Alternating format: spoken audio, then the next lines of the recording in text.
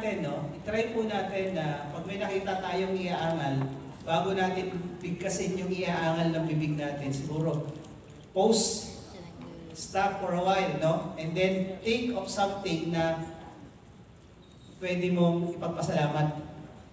Eh, grabe, ang dami coronavirus. Pwede at least maraming mananalo, may corona, di ba? Dati isa lang. Eh.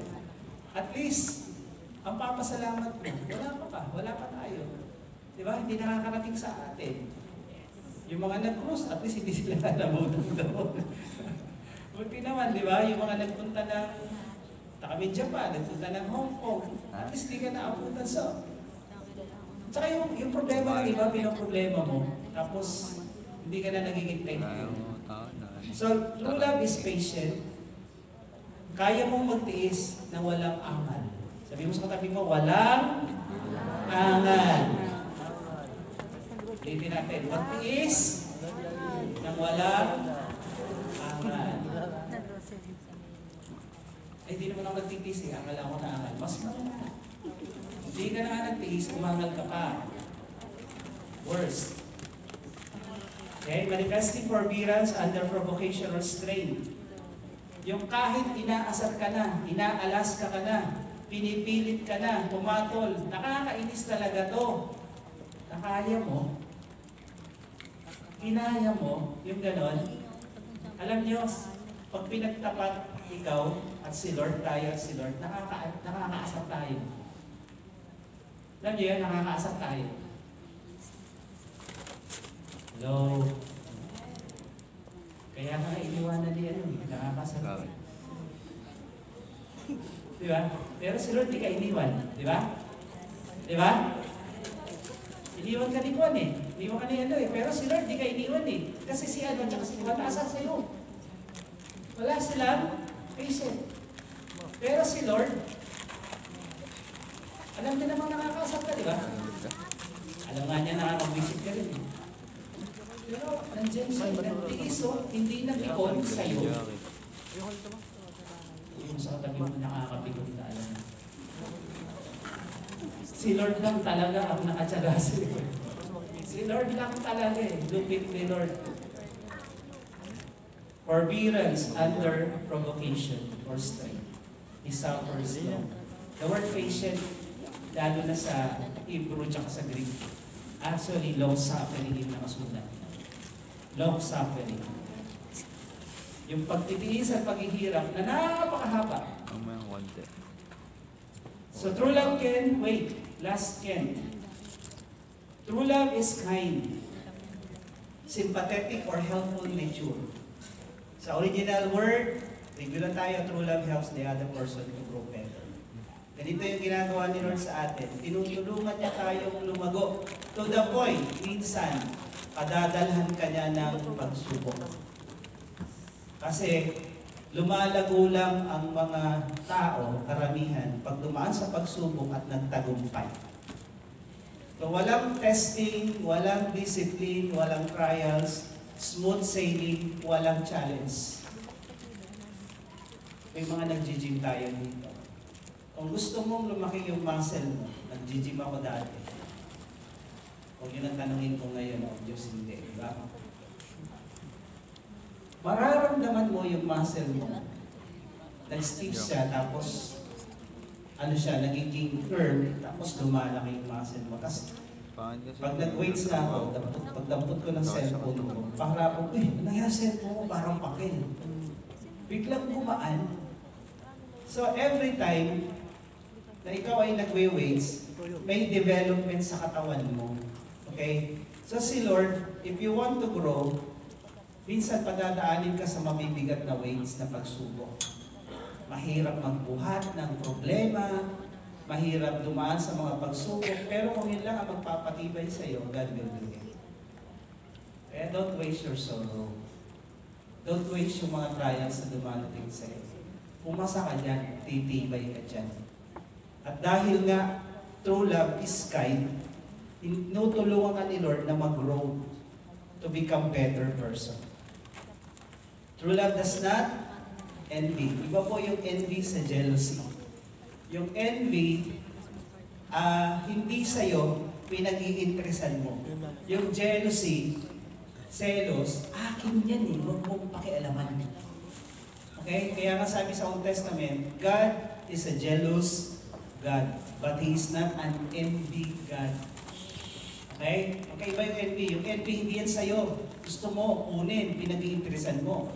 Yung jealousy, akin yan. Kaya dapat nagbantayan ko yan. Dapat lang walang makialam dyan. Okay? So karapatan ni Lord maging jealous sa atin kasi Kanya tayo. Next. True love does not boast. Ang totoong nagmamahal, hindi mayabang. Alam niyo ba ang kayabangan galing kay Satanas?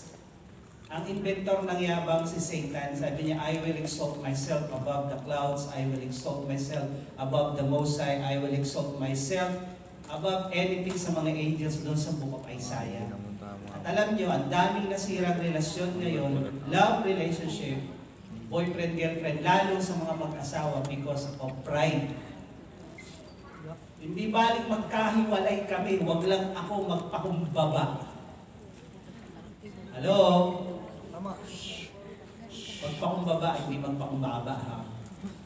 Pakumbaba. No, hindi baling mag-away at maghiwalay, wag lang ako mag-sorry. Siya mali eh. Ako tama eh. Eh sabi ng isa, siya mali, ako tama eh. Pareho silang tama talaga. May tama talaga sila. Ano yung mga naghiwalay? Pareho may tama. Hello? Mayabang eh. Kaya nga pag may counseling kami, tinatanong, ano mas mahalaga sa iyo? Yung pride mo o yung relationship niya? Siyempre, pride. Di ba? Kaya obvious eh. Hiwalayan ang habol. Mga mag-asawa, pag nag-away kayo, anong mas mahalaga? Yung tama ka, o tama siya, o yung relationship niyo? O, isa lang pumasok. Talaga ha? Talaga ha? Handa ka bang kumanta ng Yes, I'm willing to swallow my pride. Alam niyo kata yan? Cause baby, I am hurting inside. So, kaya mo bang lulukin yung pride mo? Maayos lang kayo. Nakawin nyo lang ako ng bululong ng pride. Please, lumulusog ka. Dahil ang kumakain ng pride, lumalakas sa katawan. Pero yung nilalagay sa ulo yung pride, nagkakaroon ng sakit. Hindi ko nagsasorry siya hindi. Ay Lucephalus. True love is not proud. True love is humble. True love does not dishonor others. Respect. Kung mahal mo yung isang tao, nire-respeto mo. Magmula ito sa magulang, sa kapatid, sa asawa. Respect.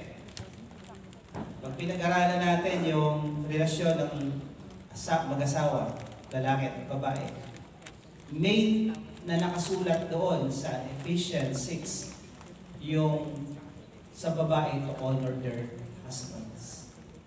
Main naman sa lalaki to love their wives. Bakit kaya ganun? Ba't kaya? Alam niyo ba bakit? Masirap ang lalaking magmahal at mas- masirap ang babaeng magrespeto.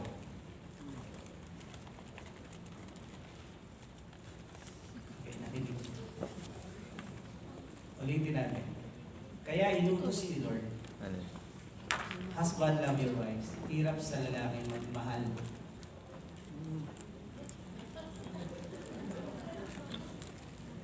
At kinutos sa babae? Wives, submit and respect, honor your husband kasi hirap talaga sila dyan. Kaya kailangan pang i-detalye ni Lord. Wives, wives, submit, honor your husband.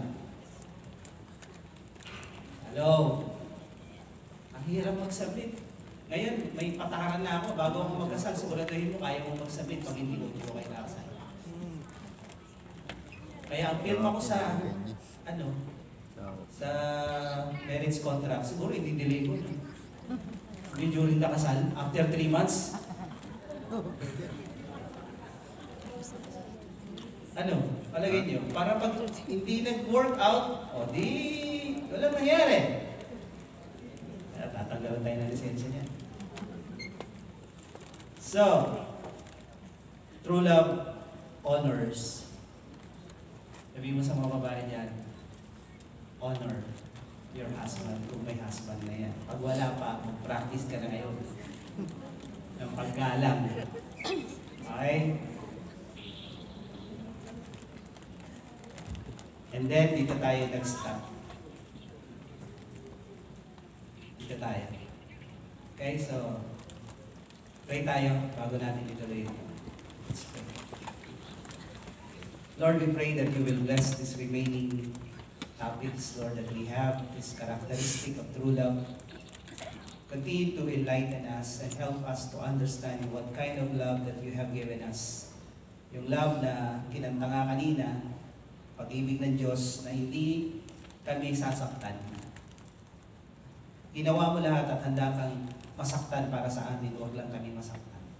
At kung meron man mga panahon na tingin namin, nasasaktan kami, hindi namin maintindihan, inaalaw mo ito, Lord, for the purpose of us growing in faith and relationship with you. Kaya Lord, today, speak to us, let your spirit move, and hayaan mo itong love na ito, hindi lang namin naririnig, hindi lang namin naiintindihan. Lord, nandyan sa puso namin, magamit namin ito, ma-utilize namin, and let your spirit take full control of us so that we will be able, Lord, to love like this.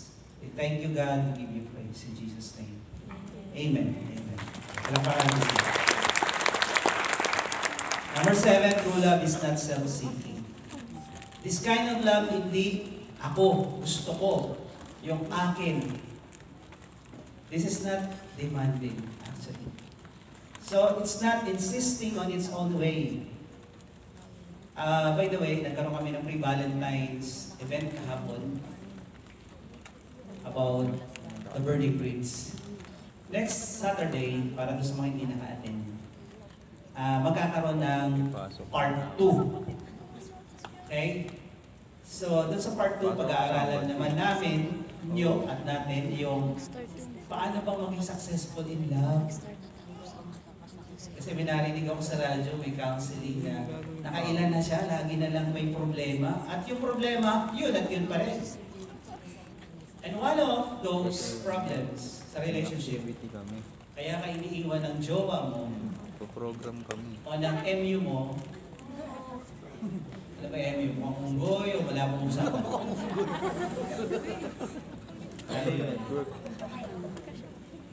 Cisco yun. So, because of insisting, masyado siyang demanding eh.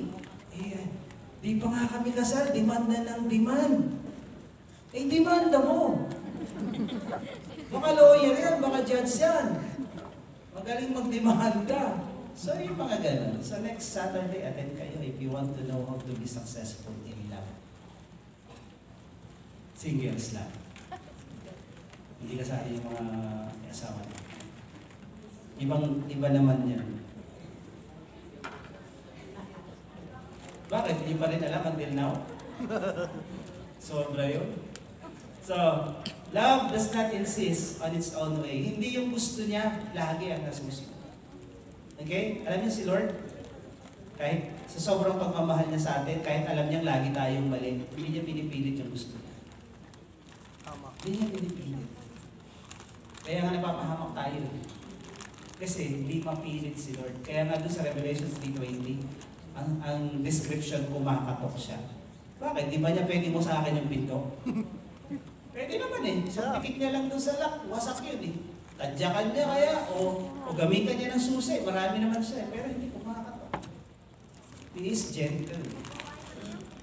Hindi siya namimwersa, namimilit. Sabi mo sa katabi mo, ang tunay na pag-ibig, hindi namimilit. Okay? Huwag kang mamilit, huwag kang makulit.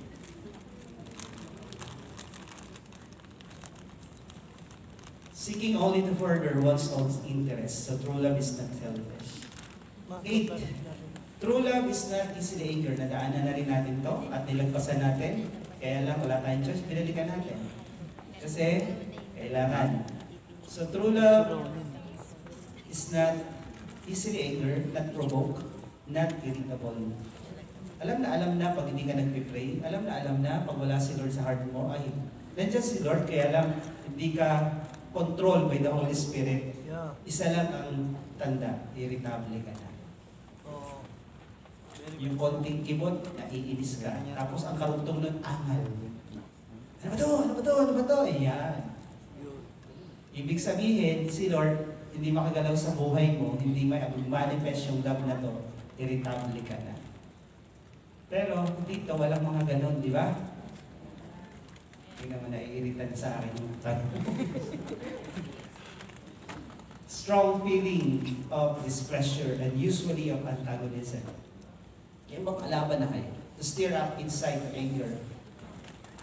Tapos madaling mag-response responsive to stimuli, yung andali mong, yung reactor ka ba? Kada ano, nagre-react ka, hindi ka nga kinakausap, nagre-react ka. Pati hindi mo problema, pinoproblema mo. Hindi mo dapat pakialaman, pinakikialaman mo. Ang galing mong mag-react. Okay?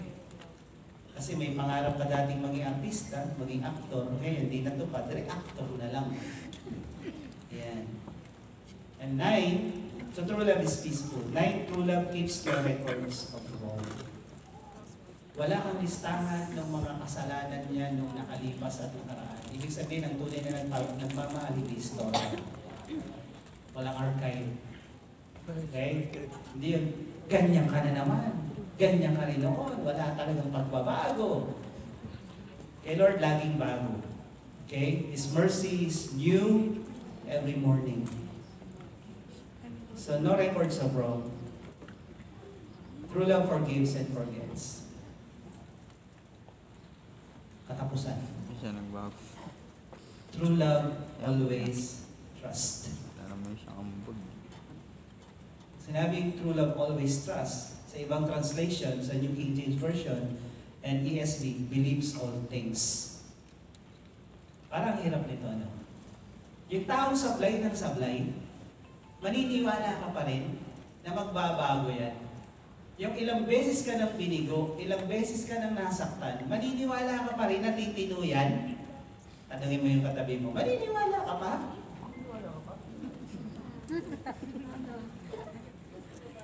Ano? Maniniwala ka? Iniisip ko nga ito eh, all, always trust.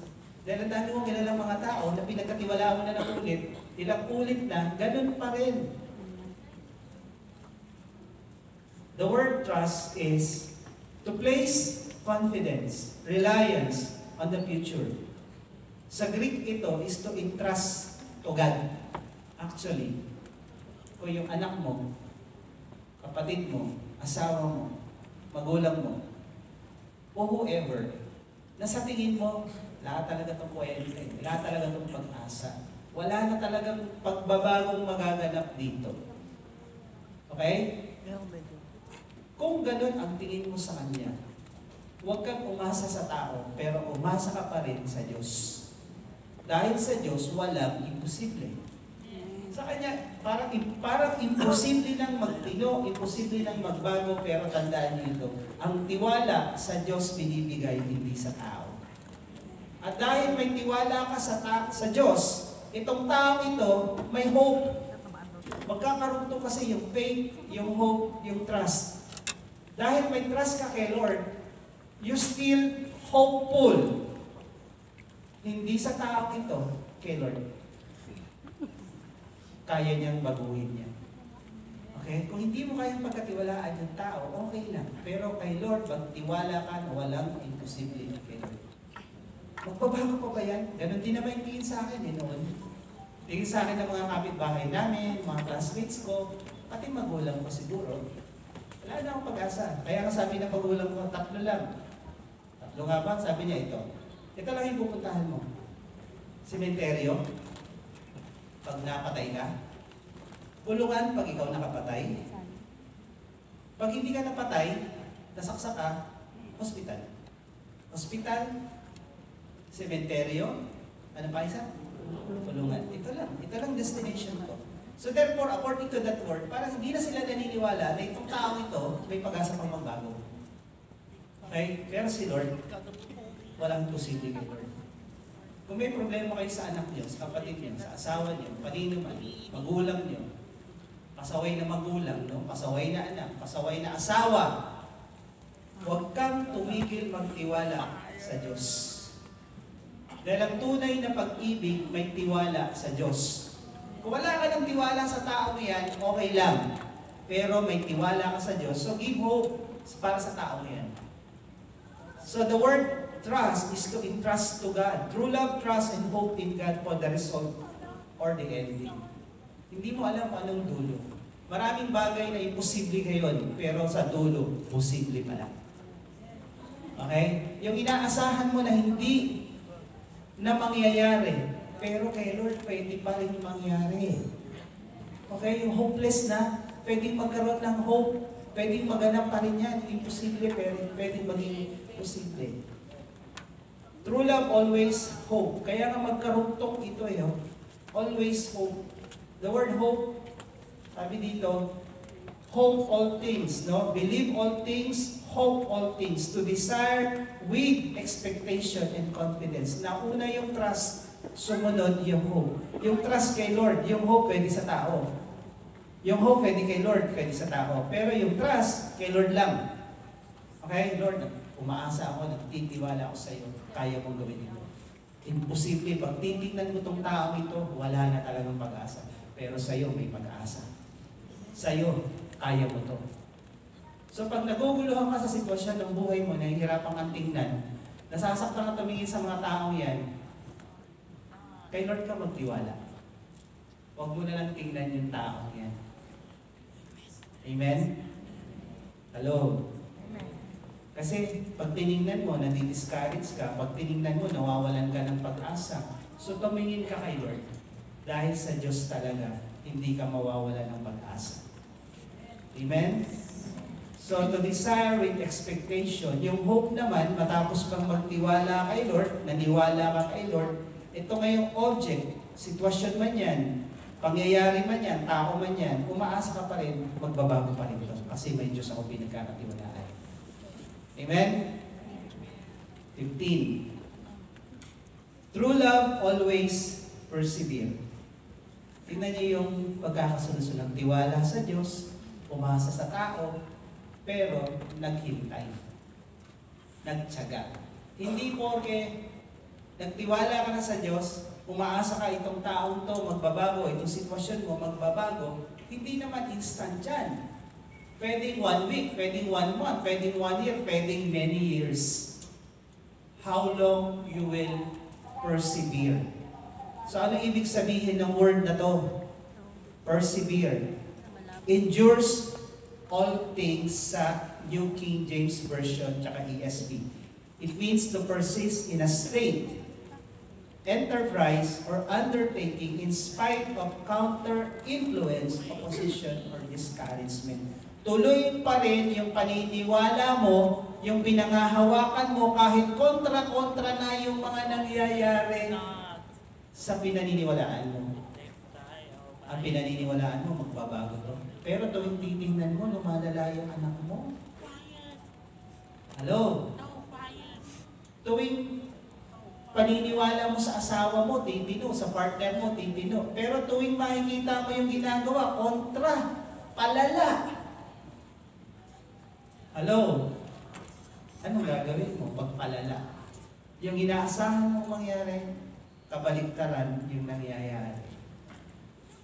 Alam niyo, faith, hope, and love, doon sa dulo ng 1 Corinthians 13, sabi doon, these three will remain. Ano daw yon?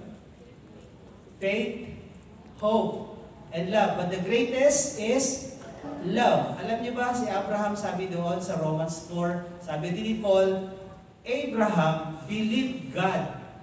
And kahit siya edad 75, magwa 100, pinangakuan ng anak, walang nangyayari, tapos yung asawa niya, si Sarah, Lola, baog pa, imagine mo, kurduroy na baog.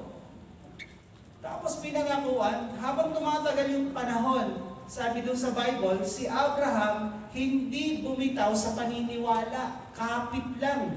He was in the state of persistence undertaking in spite of counter-influence, opposition, and discouragement. So itong tatlo magkakaroon to eh. Faith, hope, and love. So ito yung ginawa ni Abraham. Kahit imposible, kahit kabaliktaran, taon-taon nagbibilang siya. Sabi ni Lord, magkakaroon ako ng 75, 76 na. O 80 na ako, wala pa rin. 81, 82, 83. Sabi ni Lord, magkakaroon ako ng jowa. 81 na ako eh. Ay, hindi, hindi. Anak pala yan, anak. Sige. So, bakit ang tagal na wala pa rin? Pero si Abraham, he endures all things. He persists. So true love endures all things, persists in a state of enterprise or undertaking in spite of counter-influence. Alam niyo, itong love na to, pag meron ka nito, powerful ka. This love, walang makakatalo. This kind of love, hindi ka matatalo, hindi ka mabibigo. Bakit? Sino ba yung mga nabibigo? What is the mother of frustration? What is the cause of frustration? Ha? Expectation. Pag umaasa ka, nabibigo ka. Eh, tulad na to, hindi umaasa eh. Sa tao. Sa Diyos umaasa. Okay? Pag sa tao ka umasa, mabibigo ka talaga. Pero pag sa Diyos ka umasa, hindi ka mabibigo kahit kailan. Amen? Kaya nga, pag meron ka ditong love na to, grabe, hindi ka mabibigo. Bakit? Hindi ka na umasa eh. Hindi ka matatalo. This love is powerful. Alam niyo, meron tayo dito, this kind of love. Kinanta niyo kanina, di ba? Yung reckless love. Overwhelming. Never ending. Ano, susunod. Reckless love of God. No mountain he will not climb up. No darkness, he will not give his light para tulong magdiwanag, para lang mahabol kang mahanap.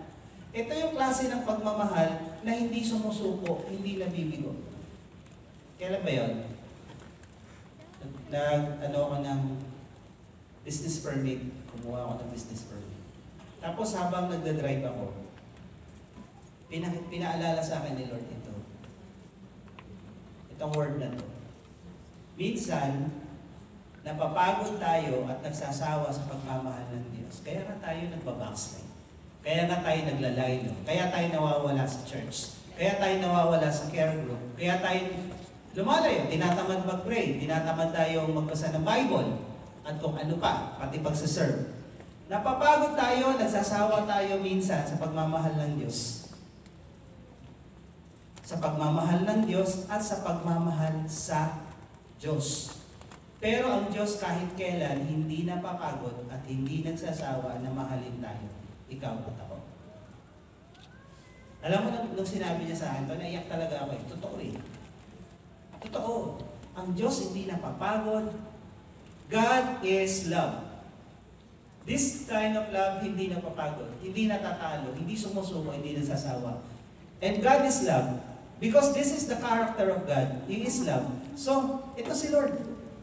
Ikaw napapagod, ikaw nagsasawa, pero siya hindi. Ano? Nakakapagod pa talagang mahalin si Lord? Matutusin hindi. Hindi ka nakakasawa eh. Ikaw, nakakapagod ka bang mahalin? Ano yung katabi mo? Tanongin, nakakapagod ba akong mahalin? Kapatid, asawa, jowa, ano? Nakakapagod ka bang mahalin? Tanongin mo, nakakapagod ba akong mahalin? Ano sagot? Ano sagot? Di ba oo? Di ba? Di ba? Nakakapagod ka mahalin. Bakit? Imagine mo, si Lord di napagod sa'yo. Kaya kung meron kang mamahalin sa mundo ito, nang higit sa lahat, Si Lord, hindi ang asawa mo. Hindi ang anak mo. Hindi ang jowa mo. Hindi ang trabaho mo. Hindi ang apo mo. Dahil walang nagmahal sa iyo ng ganito kalupit, ganito katindi, hindi sumuko, hindi napagod. Imagine mo, the mountains you will not climb para lang hanapin ka. No darkness na hindi niya kayang liwanagan para lang matagpuan ka. This overwhelming, never-ending, reckless love of God. Imagine niyo to. At pag ito naintindihan mo na ganito, ganitong klase yung pagmamahalan niyo sa iyo, ewan ko kung hindi ka mag-respond in love. Lalamig kit. Sabi doon sa 1 John, we learn to love agape, this kind of love, because He first loved us. Ang dinidemand ni Lord at ng Bible na itong agape gamitin natin in return sa Kanya at gamitin natin to sa ibang tao. Okay, kung paano niya tayo minahal, hindi sumusuko, hindi napapagod, hindi nagsasawa, dapat ganun din tayo. Sa asawa mo, kapatid mo, sa magulang mo. Ganito din dapat. Kaso, merong isang tao ng pangalan niya ay CS. CS Lewis. Hindi si Sargento. Kilala niyo ba to? Sino to? Nakakilala dito. Wala lang naman. Siya lang naman sumulat ng Narnia. Okay? Isa siyang apologetics, theologian, philosopher, writer, then naging Christian. Sabi niya, love is not affectionate. The word affectionate is liking, gusto mo. I like you. Parang ito sinabi ni Kuya Bunda kay Gem, I like you. Nanalo sila sa your moment. Guess pala sila ngayon saan? Sa asa. So, love is not affectionate feeling. Ang pag-ibig ay hindi yung gusto kita. Sabi niya, no? But, a steady wish for the love person's ultimate good as far as it is can be obtained. Sasabi niya, ang tunay na pagmamahal, sabi ni C.S. Lewis, eh hindi nakabase sa gusto mo o ayaw mo. Ang pag-ibig ay gusto, uh, wish mo na itong tao ito mapabuti kung hanggang saan pwede. Okay? So real love really isn't all about affection or liking. It is ultimately a decision, a commitment towards imperfect people and to seek what is best for them. And it always requires sacrifice. Hanggat di ka handang magsakripisyo, hindi ka pa handang magmahal ng totoo. Bahugot yun. Ulitin natin. Ulitin natin. Hanggat hindi ka pa handang magsakripisyo, hindi ka pa handang umibig ng totoo. Sulat niyo, makakalimutan ko niya mamaya. Ang totoong pagmamahal, puno-puno ng sacrifice. Okay? At hanggat hindi ka, imagine mo, hindi mo gusto, mamahalin mo, di ba sakripisyo to? Kapatid mo, di kayo, tinanong ko doon, God's Design for the Family Seminar, tinanong ko yung magkakapatid. About siblings kasi yung topic namin that time. Tinanong yung magkakapatid, love mo ba yung kapatid mo? Ang sagot, yes. Like mo? No. Lahat silang magkakapatid na nandun, love nila yung kapatid nila, pero hindi nila like. Ngayon na-realize ko, tama pala yun. Tama pala yun. Based dito sa definition ni C.S. Lewis. Na kahit hindi mo like, love mo kasi family is love. Okay ba kayo na ugali? Magkaiba kayo ng personality. Pero, love mo pa rin. So, mababait pala yung mga tinanong ko. Kahit hindi like, love pa rin. Pero kung totoong love mo, yung kapatid mo, yung asawa mo, yung magulang mo, kung sino man, kung totoong love mo, kahit hindi mo like, ang sabi dito, meron kang commitment sa taong yan, na imperfect yan, pero you will seek what is best for them. Gusto mo siyang mapabuti. Gusto mo siyang tulungan mag-improve sa buhay niya in all aspects. At gusto mo siyang tulungan at handa kang magsakripisyo alang-alang sa kanya para matulungan mo siya. Kung totoong mahal mo, magsasakripisyo ka sa kapatid mo, sa magulang mo, sa anak mo, sa asawa mo. Magsasakripisyo ka para mabuti yung kahinatnan ng buhay niya. Pero yung love mo lang, hindi mo like, tapos wala kang ginagawang effort, hindi yun totoo. Amen? So kaya, ano niyo yung mga kapatid niyo? Love like? Ano ngayon ang sakripisyong ginagawa niya? Para mapabuti siya. If you love them, you wish, you want the best for them. Okay? So meron ba? Kasi itong love na to, gusto niya lagi kang, di ba? Sabi ni Lord, paborito niya to, Jeremiah 29.11. Ang sabi doon, If you give your tithes, my thoughts and my plans for you is to prosper you, to give you hope, to give you future. Ang plano ni Lord laging maganda. Ikabubuti, ika-improve ng buhay mo. Alam niyo, na-amaze ako sa Diyos na to. Marami, marami tayong prinsipyo na akala, akala natin tama, pananaw natin tama, pero pag nakilala mo tong Diyos na to, mababago eh. Alam niyo yung word na He works in ways we cannot see? Niyo yan? God will make a way. Alam niyo yung tinuro ko dati, when God is silent, He's doing something behind the scene. Nasubukan niyo na minsan, gumising kayo, pumasok sa trabaho, gulo-gulo ng kama mo, tapos pag uwi mo, maayos na. Nasubukan niyo yan? Yung alam mo, wala ka na yung eh. Biglang pag uwi mo, oh, nakaplansya pa. Alam niyo yun? Ano ibig sabihin nun?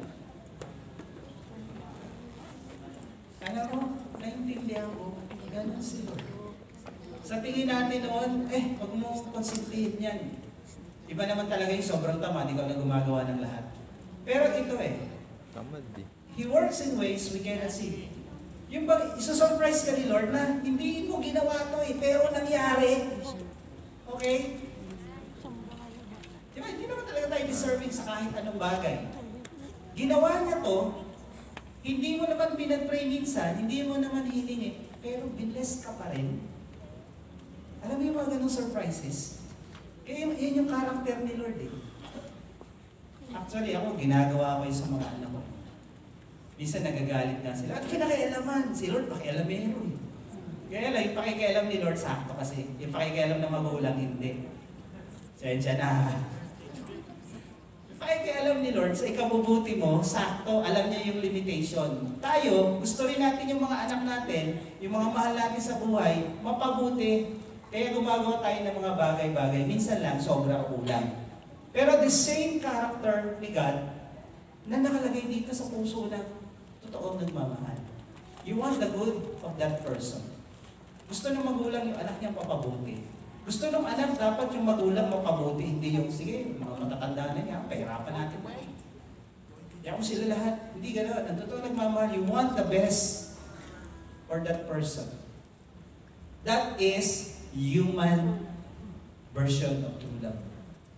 Pag in-apply mo yung agape sa kapwa-tao, kahit hindi mo gusto, mamahalin mo. Maliwanag? Sabi mo sa katabi mo, kahit hindi mo gusto yung kapatid mo, mamahalin mo. Kahit hindi mo gusto ugali ng magulang mo, mamahalin mo. Sige, biyanan. Kahit hindi gusto mo ugali ng biyanan mo, mamahalin mo. Manugang mo, mamahalin mo. Asawa mo, mamahalin mo. Kahit hindi mo gusto.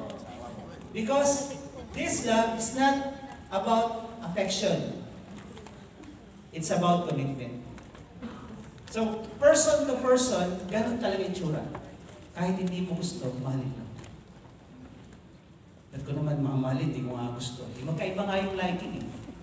Alam niyo, napanood niyo yung, ano, yung movie The Shock? Anong lagi sinasabi nung ni God the Father na anyong negra? Doon sa lalaki na nirape yung kanyang anak na maliit. Ano sabi? Ano sabi? God has special fond of you Hindi P. Hirap ko na eh. Alam mo, yung, yung, yung affectionate si Lord sa'yo, sabi niya dun sa tatay. Pati yung anak na naray. Sabi niya, ano mo mahal na mahal? Ano gusto gusto ka ni Lord? Gusto gusto ka ni Lord. He likes you.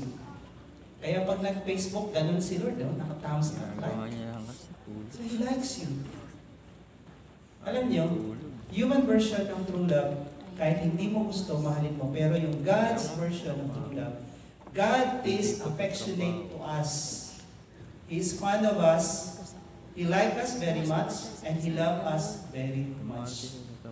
Ang kagandahan nitong true love ni Lord sa atin, hindi ka lang niya love, like ka pa rin niya. Okay?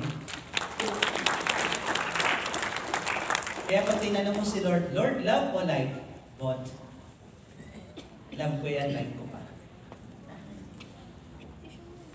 Kaya sa mo, like ka ni Lord.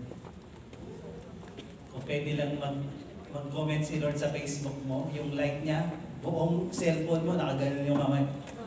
Wala na bang gusto ng trabaho? God is affectionate to us. He's follow us, He likes us very much, and He loves us very much. He sacrifices best for our ultimate good. This is God. This is our God. This is my tatay in heaven. He likes me. Kaya kahit ayaw sa'yo ng iba, who cares?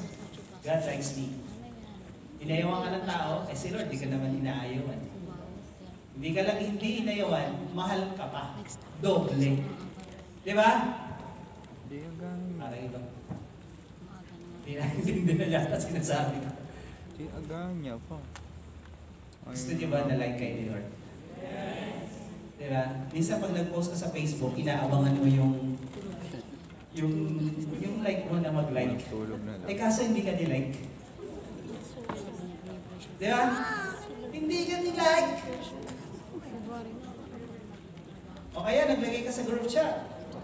Kita mo, nag-sin. Pero hindi ka ni-like. Hindi nag-response. Patay. Alam nyo, ang problema ngayon ng maraming kabataan, Yung word na like. Agad eh.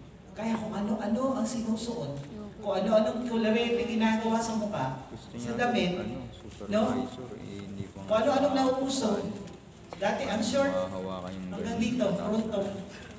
Pekli na ng pekli. 3 inches na yata ngayon shorts eh. Wala nang Di ba? So, bakit ganun? Because they want to be liked. Gusto nilang magustuhan sila ng crush nila o ng grupo. They want to be liked. They want to be in sa grupo. Kaya kung ano-ano pinagagawa sa sarili. Yung iba, di ba? Yung mga kabataan namin, oh, nagyoyose sila, nagyoyose sila, tapos ikaw hindi, you're not like them. Hindi ka in. So para ka maging like them, you follow them. Gawin mo yung ginagawa nila, so you will become like them and they like you. Ibig sabihin ng like, kagaya mo at gusto. Okay? So, people want to be liked. Okay? That's normal. Pero tandaan niyo to, lahat ng hinahanap ng tao dito sa mundo, ano na to eh, ah, contaminated na ng maraming bagay.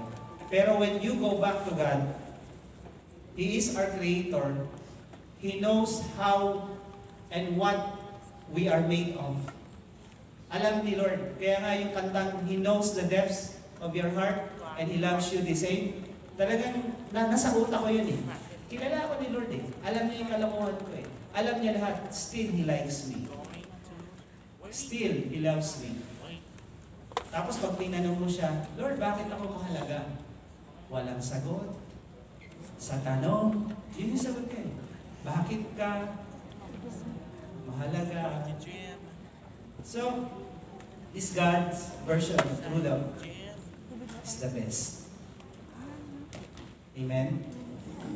Now, human to human, it's okay na sa atin na mahalin natin yung tao kahit hindi natin gusto. It's okay na yan sa atin. Ang hirap talagang magustuhan mo siya eh. Pero ang inuutos sa atin ni Lord, mahalin. Kahit hindi mo gusto. Kahit hindi mo like, love. Okay? Eh, yung magkakapatid na love lang, prove nyo lang na totoong love yan. Kasi ang true love, willing kang magsakripisyo, bumuti lang yung taong yan. Ano na uli yung hugot kanina? Oh, naguluhan na sila. Eh, may ibang version. Wala na yan? Ah, walang nagsalat. Ha? Ano ba yan? Sinulat mo? Hindi nyo rin sinulat. Sino nagsulat? Ano na? Ayan. Hanggat hindi ka pa handang magsakripisyo, hindi ka pa handang umibig ng totoo. Okay? Kaya yung totoong pag-ibig, may sakripisyo. Kung mo yung magulang mo, magsakripisyo ka. Kung mahal mo yung asawa mo, magsakripisyo ka. Kung mahal mo yung kapatid mo, magsakripisyo ka. This love is possible only if we have Jesus in our hearts and if the Holy Spirit is in control of our lives. Again, this is impossible with men.